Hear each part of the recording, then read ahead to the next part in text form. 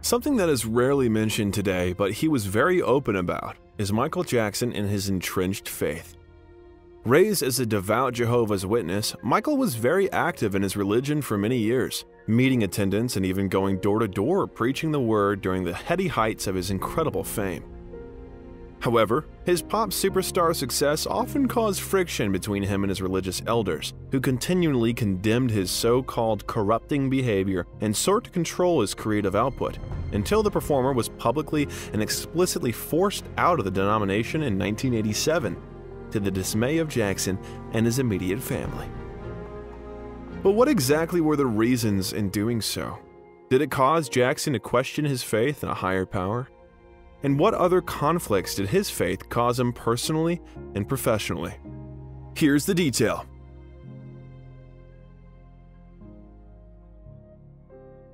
Raised as a Christian, Katherine, Michael Jackson's mother, was baptized into the Jehovah's Witness sect in 1963 after she was converted by a door to door preacher.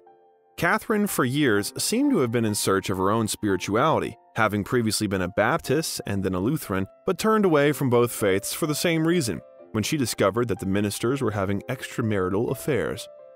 The Jackson matriarch didn't require her family to convert as she did, with Michael's father, Joseph, never adopting the religion himself, but some took an interest. In particular, her oldest daughter Rebbie, middle daughter Latoya, and Michael, who were active in meeting attendance and preaching. Michael's sister Latoya, writing, quote, Michael and I were very active in the Jehovah's Witness faith. Five days a week, the two of us and mother studied the Bible at home and attended the Kingdom Hall. It is not difficult to understand the unusual enigma that Michael Jackson became when considering the extremes of his upbringing. On one hand, he had a violent, materialistic, philandering father. On the other hand, there was a loving mother attempting to indoctrinate him into her equally skewed belief system. At an early age, Michael received mixed signals about sex. The message from Katherine was loud and clear. With her strong faith as a Jehovah's Witness, that lust in thought or in deed was considered sinful. Therefore, physical intimacy was reserved for marriage. However, from his father, Joseph, the boys received a message that came more from his actions than from his words. The Jackson patriarch had his sons perform in seedy nightclubs and as an opening act for the night's striptease performers. Of course, when the Jackson boys were on the road, Katherine remained at home with the younger children. Her absence gave Joseph carte blanche to date other women, mostly groupies. An open secret Michael and his brothers were made very much aware of, years later stating he was revolted by the thought of whatever was occurring in Joseph's room with his girlfriends. Therefore, Michael must have been conflicted having an overly rigid, puritanical view of the world from his mother, and an overly promiscuous example from his father in show business. It's apparent that Michael and his brothers often put aside their religious beliefs when it came to their music career, which included releasing a best selling Christmas album even though they never celebrated the holiday, as it wasn't permitted as a Jehovah's Witness. Michael never hid his entrenched faith. Quote, Each day I take time out to study the Bible, no matter where I am the teachings of the Bible have added a new dimension to my life. It somehow makes me whole. Michael Jackson said when interviewed for Black Star magazine as a teenager. Despite his tremendous fame and great fortune, by the early 1980s, Michael Jackson still continued door to door proselytizing for the Jehovah's Witness faith. Quote, twice a week, maybe for an hour or two, according to his mother. When he was in town, he would also attend meetings at Kingdom Hall with his mother four times a week. Michael Jackson was known for his masterful disguises. Many believe they were used to escape fans and the press, but it was also to allow him to continue spreading Jehovah's word door to door, a requirement as part of his religion. An example of a typical day of pioneering, he would be wearing a disguise, a mustache, hat, and glasses, and a tie and sweater, and holding a copy of The Watchtower. Michael would then stand at the door of an apartment in a suburb of Los Angeles. Hi, I'm here to talk to you about God's Word, he would tell a young girl who answered the door. She would slam the door in his face, and so he would go to the next apartment. This humbling experience was in stark contrast to the applauding audiences and screaming fans Michael Jackson was used to. He described it as a way of reconnecting to an ordinary world outside of show business. Quote, I continued my pioneering work for years and years after my career had been launched. I would don my disguise of a fat suit, wig, beard, and glasses and head off to live in the land of everyday America, visiting shopping plazas and tract homes in the suburbs. After the release of his Thriller album in 1982, the music and their accompanying videos caused a stir amongst his religion's elders. The first being Billie Jean, where in its lyrics Michael openly discusses premarital lust with sexual overtones and appeared getting into bed with a woman during a scene in its video. Sources within Michael's congregation claim he was publicly reprimanded for the Billie Jean video as well as his live performance of the track after he appeared on Motown 25 and moonwalked for the first time while performing Billie Jean. Michael Jackson claims he was told by his church that he was doing burlesque dancing. It was dirty, and he must stop immediately. Quote, You can never dance like that again. I said 99% of dancing is moving the waist. They said, We don't want you to do it. So I went around trying to dance for a long time without moving this part of my body. Jackson revealed in a private conversation many years later. Despite Michael Jackson's transparent devotion to God and commitment to his Jehovah's Witness faith, no doubt having donated large sums to the religion, the church's elders were continually incensed by the superstar's musical and visual output. In another popular video, Thriller, the sect's leaders took issue with the performer transforming first into a werecat creature and then a dancing zombie monster. Quote, when I made Thriller with all the ghouls and ghosts, they said that it was demonic and part of the occult, and that Brother Jackson can't do it. Pained and upset, he then called his lawyer in tears, telling him to cancel its release and to destroy the video. His lawyer was eventually able to reason with him, and they came up with somewhat of a solution that his religious elders could live with. Evidently not wanting viewers to conclude that it promoted spiritism, the film begins with a disclaimer quote, Due to my strong personal convictions, I wish to stress this film in no way endorses a belief in the occult. Michael Jackson. However, what would become a major critical and commercial success, many viewing Thriller as the greatest music video of all time, it would also fill Michael Jackson with much pain and regret. Quote, I would never do it again, Michael told the Jehovah Witness magazine, Awake, in 1984. Quote, I just intended to do a good, fun short film, not to purposely bring to the screen something to scare people or to do anything bad. I want to do what's right. I would never do anything like that again. I realize now that it wasn't a good idea. I'll never do a video like that again. He continued, quote, In fact, I have blocked further distribution of the film over which I have control, including its release in some other countries. There are all kinds of promotional stuff being proposed on Thriller, but I tell them no, no, no, I don't want to do anything on Thriller, no more Thriller. It was at the height of his Thriller success that, more than ever before, Michael considered himself a strict Jehovah's Witness. He didn't believe in blood transfusions, Easter, and Christmas, or the celebration of his own birthday. Michael telling his vocal coach, Seth Riggs, quote, It is a big part of being a Jehovah's Witness. We do not celebrate holidays or birthdays. We believe that we should honor and celebrate these things daily and not have just one day.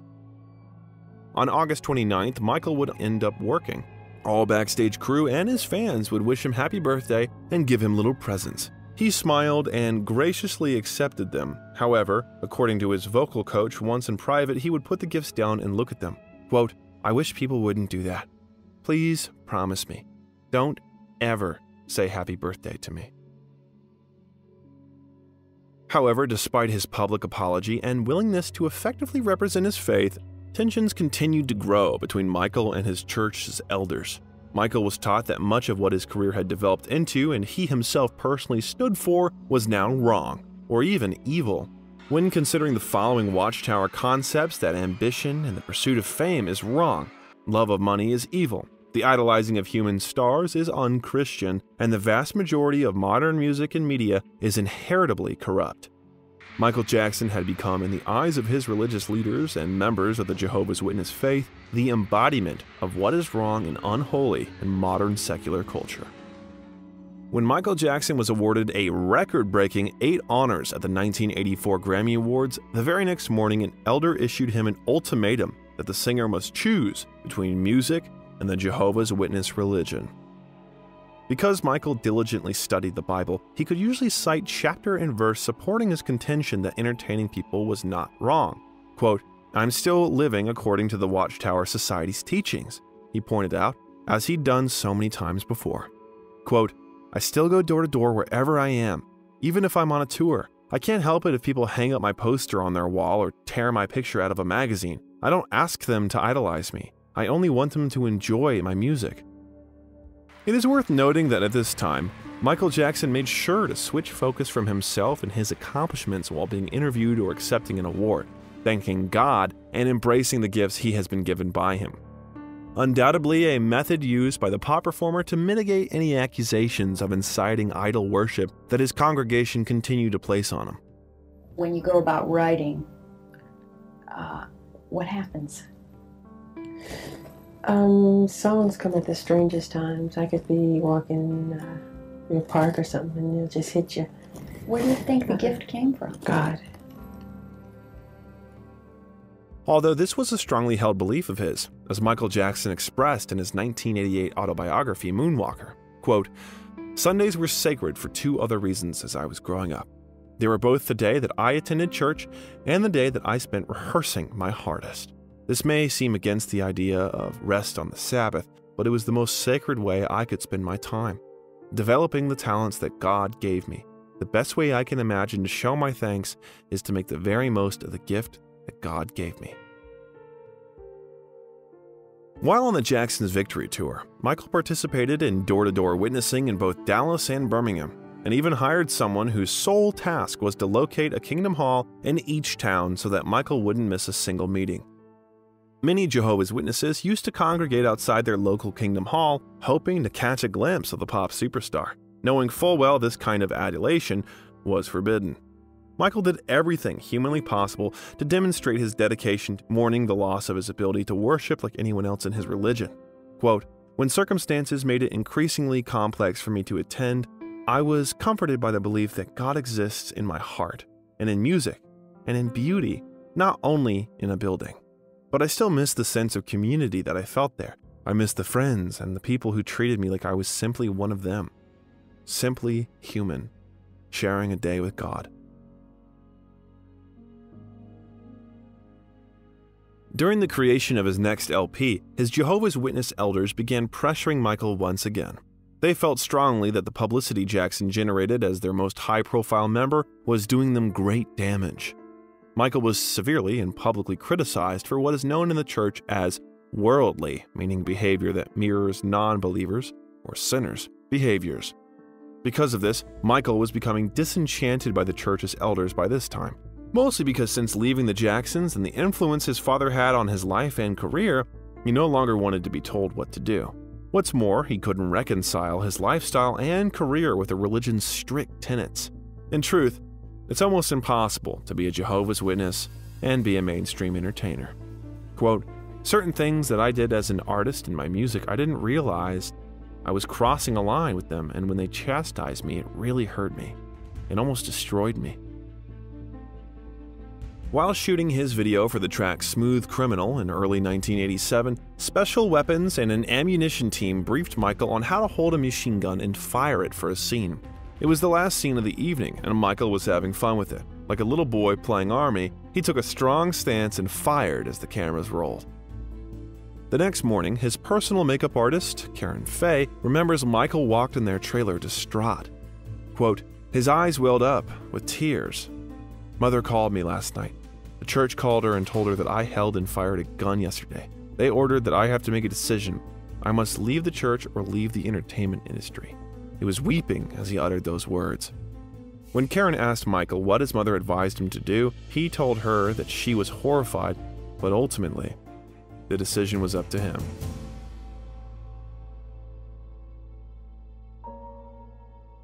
On May 19, 1987, Michael withdrew from the Jehovah's Witness faith. A letter from the Jehovah's Witness headquarters sent as a press release stated that the organization, quote, no longer considers Michael Jackson to be one of Jehovah's Witnesses. Gary Botting, author of The Orwellian World of Jehovah's Witness and a witness himself, said that leaving the religion is, quote, worse than being disfellowshipped or kicked out. He observed, quote, if you willfully reject God's holy organization on earth, that's the unforgivable sin the sin against the Holy Spirit. Michael's decision to leave the church caused his mother great despair. There was now no discussing of spiritual matters with him, as it was strictly prohibited for a witness to discuss matters of faith with ex members, even if they are family. Katherine said that she has never asked Michael what happened, and she never intends to ask such questions. Quote, I was not required to shun my son, but we can't talk about matters of faith any longer, which is a shame. Even after Michael's disassociation with the Jehovah Witness faith, he likely didn't stop believing their teachings and still suffered greatly from guilt. In years to come, he would give gifts to loved ones around their birth date but couldn't bring himself to acknowledge the occasion by wishing them a happy birthday. In 1993, Elizabeth Taylor organized Michael's first Christmas celebration. The following home video shows Michael's excitement, but also he discusses his guilt, feeling what he was doing was wrong. Open it? Sure. At the same time, uh, it's exciting. I felt guilty too at the same time. I remember going in the bathroom crying later because I felt I had done something wrong because I was raised not to ever celebrate it.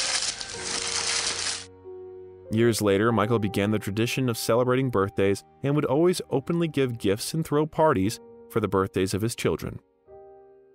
When it came to his children, Michael still taught them values of the Jehovah's Witness faith, even though he hadn't been a member of a congregation for years. His son Prince reflected on his father's faith and religious upbringing in a 2012 interview. Quote, He believed in a higher power, he believed in Jehovah, or whatever God your religion is. But he didn't believe in a lot of the religious stuff, saying that you can't do this and you can't do that or something like that. But he respected all religions, no matter what your God was. In his later years, Michael Jackson appeared to explore religion outside of Christianity, valuing the wisdom of spiritual leaders from a number of faiths. It was reported that shortly before his untimely death, Michael Jackson, like his brother Jermaine did years before, may have even converted to Islam Oh, although this claim has never been verified by any member of his family. Due to his religious convictions and having disassociated from Jehovah's Witnesses, Watchtower regulation dictated that he could not have a Watchtower funeral. However, the Jackson family did hold what reporters have described as a witness ceremony.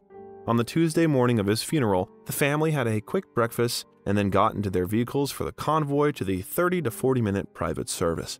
About 70 relatives gathered at Forest Lawn, where Jackson's cousin Wendell Hawkins conducted a Jehovah's Witness service. The ceremony was described as spoken in a way that their belief is that God is going to be back on this earth.